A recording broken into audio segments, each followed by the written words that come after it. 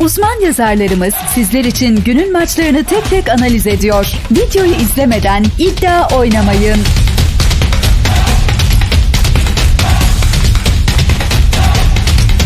Belgika Ligi'nde oynanacak bir maçı betimleyen tablo.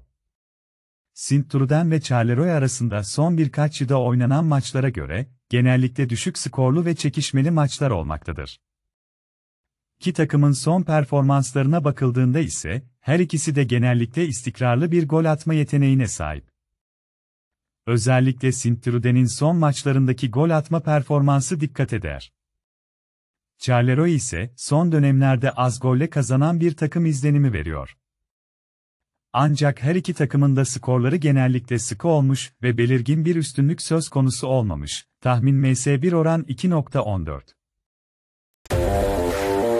Maçla ilgili senin de yorumun varsa yorumlarda sen de paylaş. Videomuzu beğenip kanalımıza abone olmayı unutmayınız.